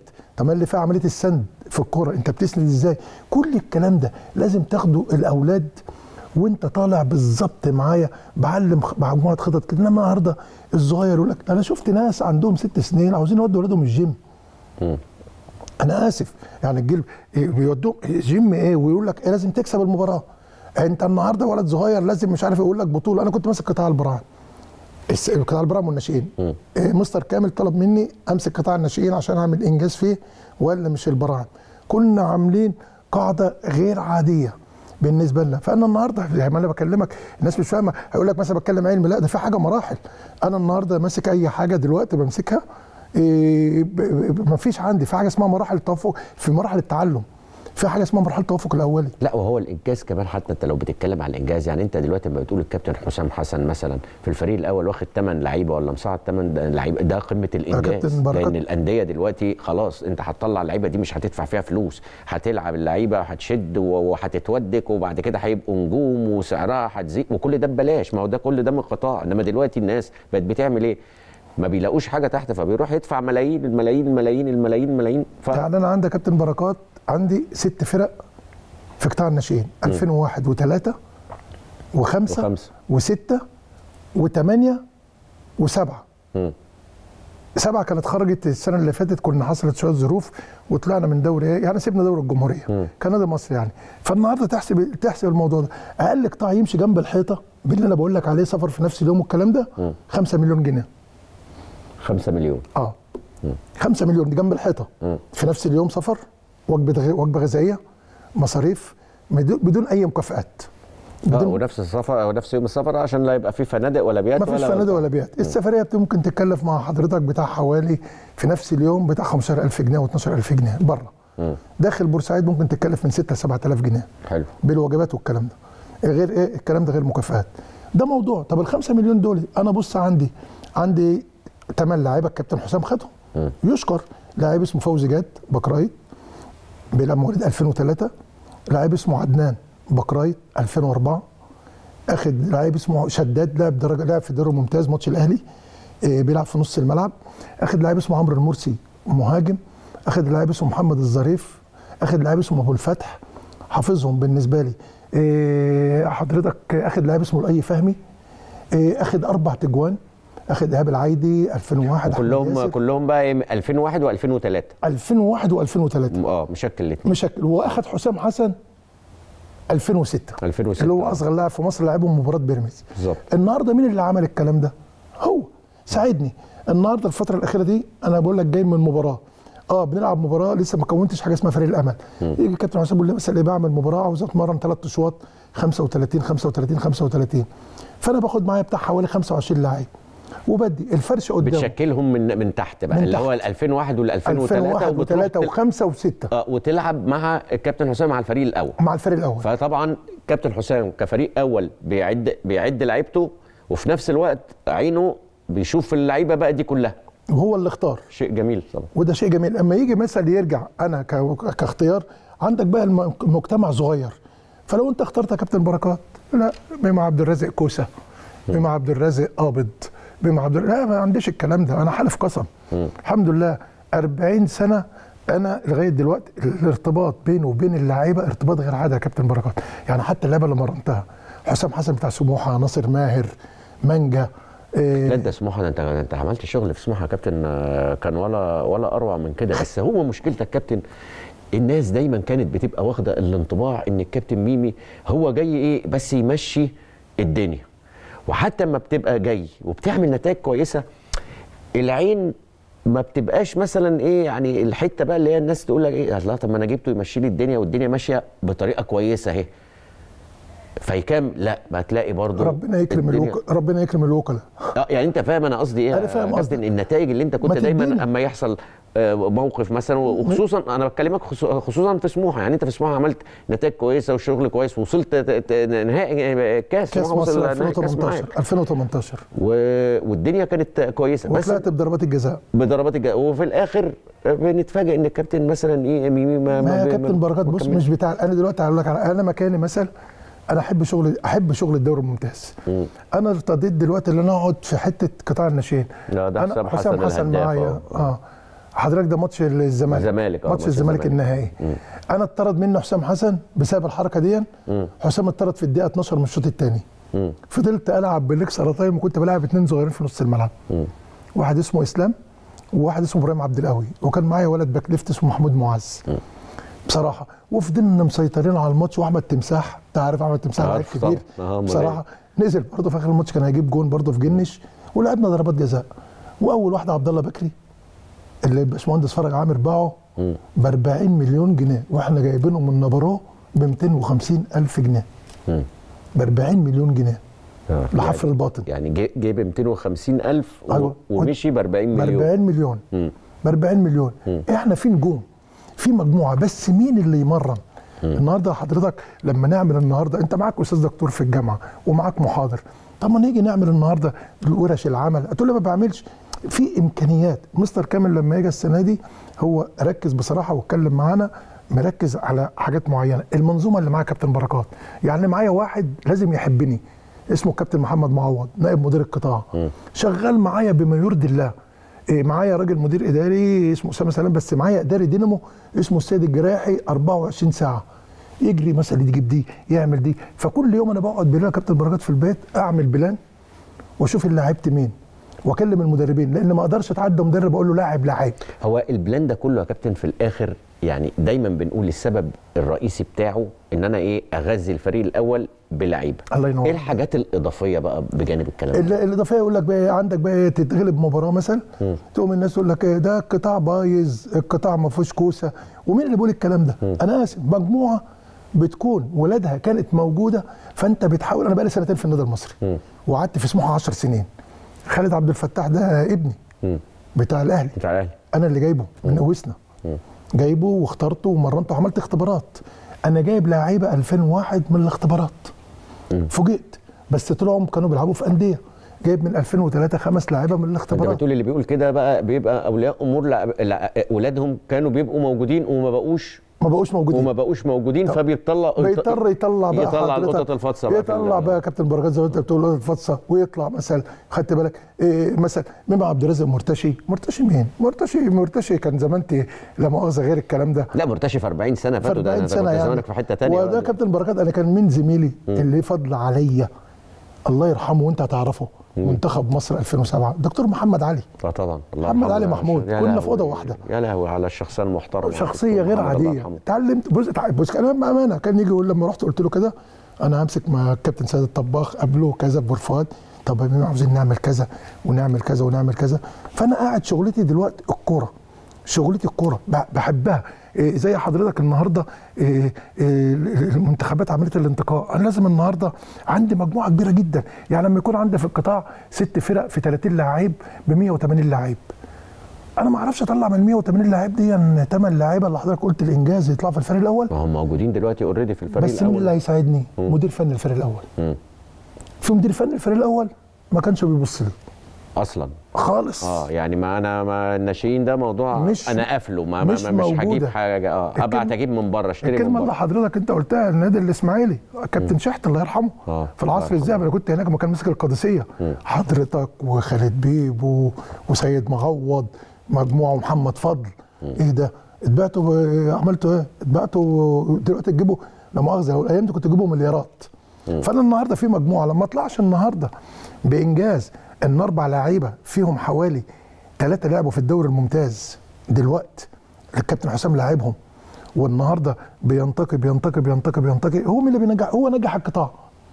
نتائج بقى أول دوري وتاني دوري في قطاع قطاع الناشئين خدت أول دوري حصل إيه؟ في قطاع الناشئين. المحصلة. ما فيش محصلة. انما آه. لما صعد هي دي المحصلة اللي بس في نفس الوقت حضرتك اللي أنت قلت في السن اللي فوق ده أنا عاوز أهداف. هدف إيه؟ واحد اتنين تلاتة. هدف التمرين إيه؟ يبقى موحد. بس خد بالك برضو زي ما انت. بتقول برضو ما هو كابتن حسام آه بيتعاون وبيجي ويعمل لي ماتش وبتاع بس ما هو كل دوت أكيد السبب الرئيسي فيه ال الاحترام ال- المتبادل والثقة بتاعه الكابتن حسام اللي هو أنا بتعامل مع ميمي عبد الرازق. يعني أنت فاهم أنا قصدي إيه؟ فاهم يا كابتن بركات. هو زي ما حضرتك دلوقتي اتكلمت على حاجة أنا مثلا في ماتش كان مع حضرتك 2011 مم. مع مانويل جوزيه 2011 انت اللي عملت الجون اللي بتاع التعادل بتاع أحمد السيد 2 أنا كسبان 2-0 بتاع صمو الأفون. اللي في استاد القاهرة. اللي في استاد القاهرة. 2-0 وتعادلنا 2 كنت أنا المدير الفني. آه. اتعادلنا في الدقيقة 8 أيوه أيوه. حتى أنا طلعت قلت للكابتن سمير عثمان بقى ربنا يديله الصحة. وهو شغال في البنك. قلت له الفوائد بتبقى مثلا 3% ما تبقاش 8 دقائق خدت بالك؟ فهو قاعد يضحك معايا. انت عارف الأهلي تملي الحتة بتاعته بتاعت الوقت بدل الضايع دي. أيوه. فأحمد السيد ساعتها الكورنر الأخير أنا كنت المدير الفني. مانويل جوزيه خرج بعد المباراة بصراحة في المؤتمر الصحفي لا وأحمد السيد كمان اللي جاب الجون خد بالك. ده دي آه. لوحدها مشكلة خلي بالك. فاكرها. بس أنت عملت الجون الأولاني لفضل. لما حسن الشابي يوقف الكرة قمت أنت ضاغط ضغطة وقمت عامل الأوفر لمحمد فضل. في الدقيقة 38 كان 2 1 ما شاء الله الذاكرة. آه الحمد تمام لله. لحد لا ما طبعا أصل مركز بص أنت مركز في كل حاجة. لا والله يا كابتن مات- ميمي. ماتش أنا ما طبعا. ما أنا يعني معرفتي بقى اللي أنا عرفته أصلا كمان يعني حاجة كده على اله- على هامش الحوار يعني إن أنت كنت بتلعب كورة مع الفنان عمرو دياب. طبعا طبعا. فعلا الكلام ده؟ فعلا. كنت بتلعب كورة مع عمرو دياب؟ أيوه يا فندم أيوه يا كابتن بركات سند بالظبط بالظبط بالظبط 76 77 78 فنان عمرو دياب كان في بورسعيد بورسعيدي. آه. غير ماليش دعوة بالكلام بورسعيد كنا بنلعب في نادي هيئة قناة السويس في بورفؤاد. مم. اسمه نادي إيه؟ اللي هناك بالنسبة زي إسماعيلية ما أنت رحت الدنفاو والكلام ده وبتاع. آه. فكنا بنلعب هناك. كنت أنا وهو وعصام التبعي ابن المرحوم الكابتن السيد التبعي اللي كان برضه إسماعيلية مع كابتن أنوس وكابتن أميرو. فكنا بنلعب إحنا معاه وعمرو كان في فرقة في بورسعيد اسمها فرقة الديفيز. كان هو يطلع يغني وكان معاهم واحد يغني أغنية ديميس روسوس برضه بالنسبة له. بس كان لاعب كورة. واللي كان متبنيه الله يرحمه واحد اسمه محمد عبد المنعم. الله يرحمه ويحسن ليه كان إداري معايا في المريخ. وهو كان بيلعب كويس آه، كان عمرو لاعب دياب كوي... كان لاعب كويس. لا والله. لاعب كويس بس كمان كمان إيه بسم الله ما شاء الله زي ما هو عنده كده ربنا يديله الصحة آه. عشان نمسك الخشب كده. إيه كان وحش برضه. يعني آه. الدخل على طول بصليبي. آه يعني كان بيلعب جامد قوي، كمان يعني قوي. كان aggressive في لعبه. قوي قوي. كان aggre- كان كان كان قوي جدا طب فنيا كان هو أحسن ولا أنت أحسن بقى؟ لا أنا فنيا أنا كنت back right أنا فنيا كنت back right أوصل لغاية الخط الفرقة كلها مستنية ال over. ما تلاقيش. شيل ال over في الأول. أقوم راجع أقول لهم sorry خدت بالك؟ بس كنت بتقول sorry. غلط لازم لا، أقول sorry. كنت بتقول sorry خلاص هم عايزين منك إيه؟ لازم أقول sorry. ف... ف... فالموضوع يا كابتن بركات أنا بحب عملي بحب شغلي. أنا كنت أنا أقول لك على مشكلة حصلت معايا. أنا أول مدرب اترشحت لايبزيج الست شهور. سنة 90 91 واللي رشحني الوزير عبد المنعم عمار ترشحت كمدير فني. أطلع الدورة اللي كان يرجعوا يمسكوا آه المنتخبات دورة ت- تدريبية. ده أول مجموعة أنا والدكتور محمد علي. بكلمك بامانه والكابتن علي أبو جريشة. وكان علاء نبيل وعلاء مرسي فالألمان كانوا عاوزين ثلاثة كنت أنا ثلاثة جريت رحت لقيت نفسي بره. بره مكتوب عز أبو الروس اتصل بيا قال لي كابتن انت مدير فني ماسك المريخ دوري ممتاز كان معاها حمد أبو راضي. انت تيجي تسافر ألمانيا ست شهور ترجع تمسك منتخبات. اللي راحها تاني مرة الكابتن شوقي غريب ومسك منتخبات وراح على الكابتن علاء مرسي والكابتن علاء نبيل لقيت نفسي طاير ومعايا قرار وزاري لغاية دلوقتي. معلقه في البيت كله بص له اقعد اعيط نطلع فاصل ونكمل كلامنا. فاصل ومكملين مع حضراتكم في الريمونتادا.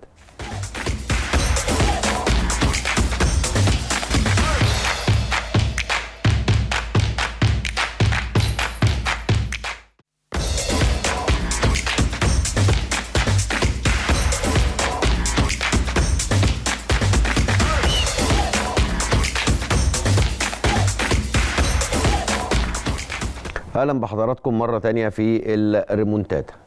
كابتن ميمي خلينا نتكلم بقى ونتكلم عن النادي ال- المصري على مستوى الفريق الأول والكابتن حسام حسن. يعني تق- تقييمك إيه لأداء فريق المصري السنة دي في الموسم ده؟ النتائج ما كانتش خادمة ولكن ابتدت الدنيا تفرج الفترة الأخيرة مكسبين ورا بعض ابتدت الدنيا تبقى كويس. فرؤيتك إيه للنادي المصري؟ هو طبعا لما اجى طبعا أنت عارف كان في عملية تغيير الأجهزة مم.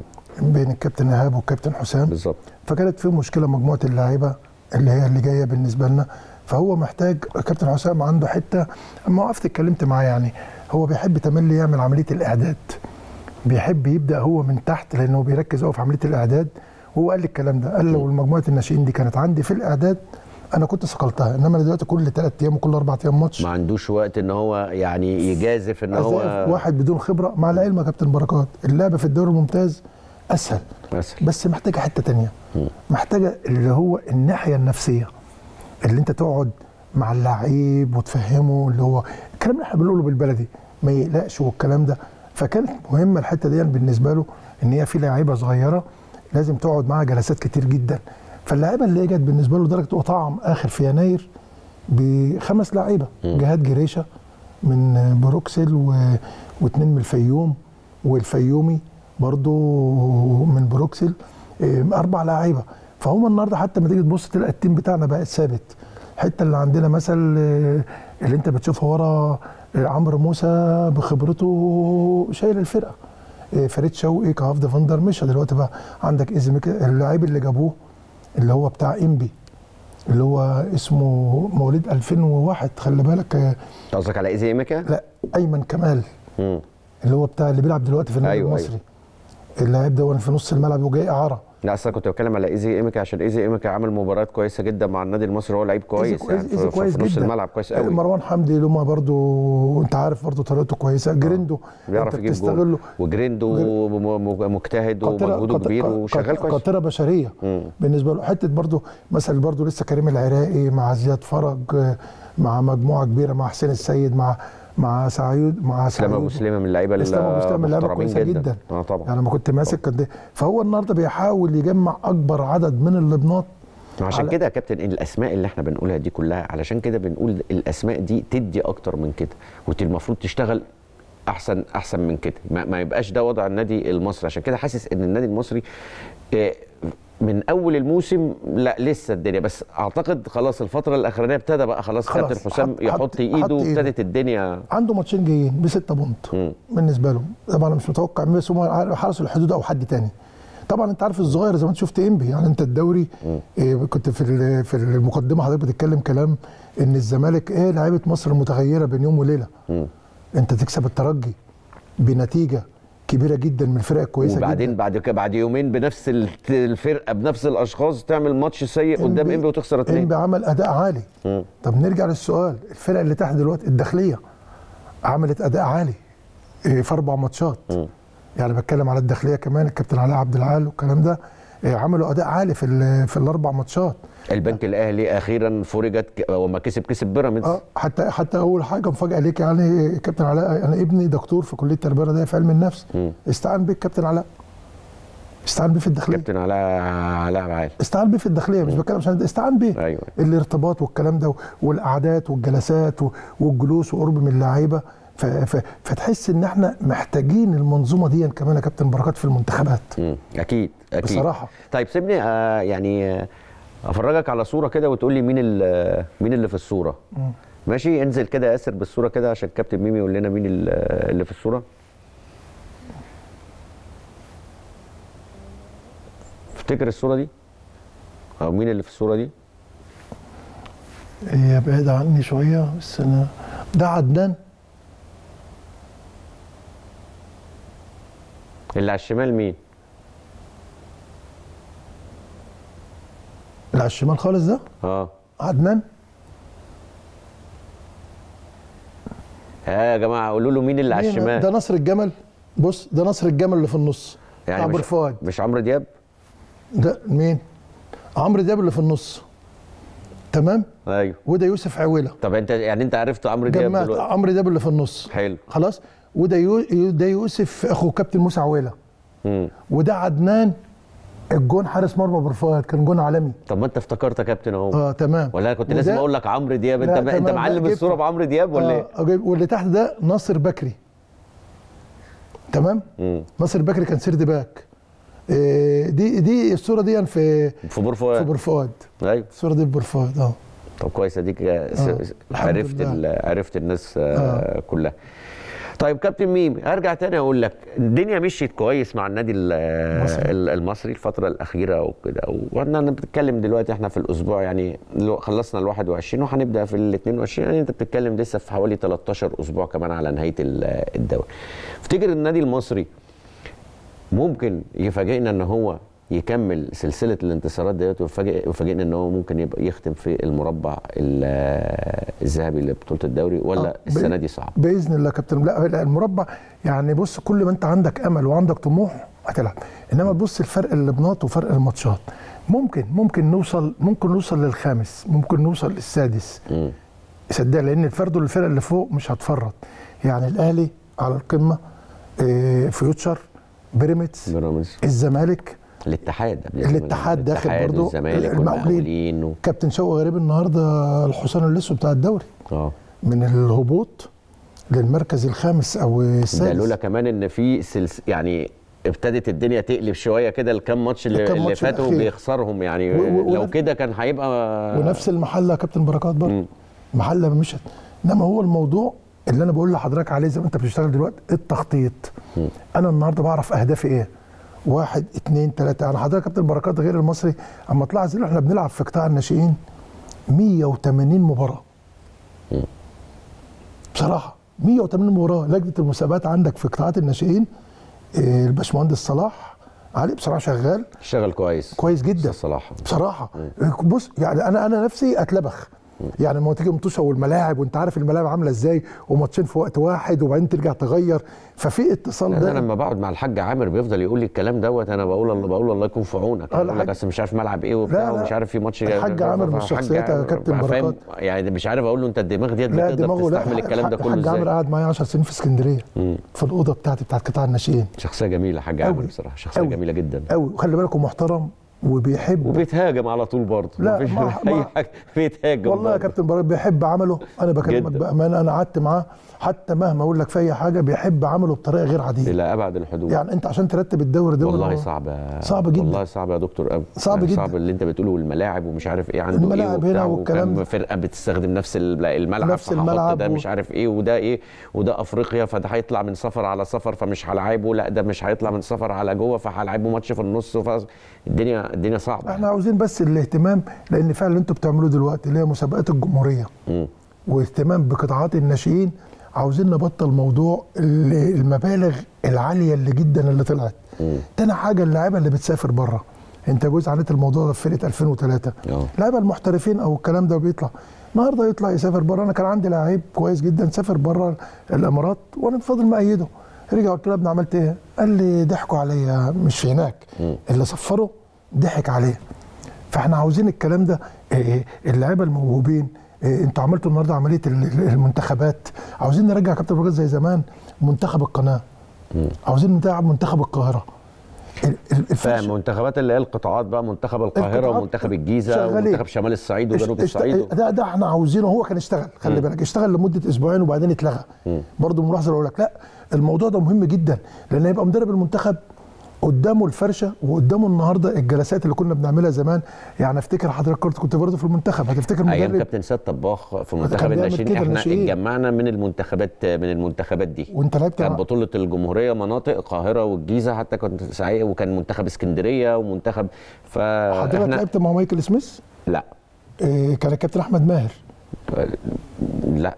كان بيجي آه، بيجي لي بورسعيد يقوم يقعد معايا مع الكابتن عادل الجزار الله يرحمه رئيس اللجنة الفنية. أنا ماسك النادي المصري. يقول لي عندك ال forward ده. يقوم مطلعني ال plan ويعمل لي ملعب ال 18 يقول لي أنا عاوزه يتمرن ده مدرب المنتخب. عشان أشوفه.